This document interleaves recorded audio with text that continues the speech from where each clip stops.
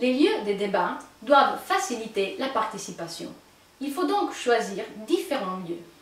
Des lieux où certains métiers sont plus répandus, ou bien dans les secteurs considérés les plus représentatifs.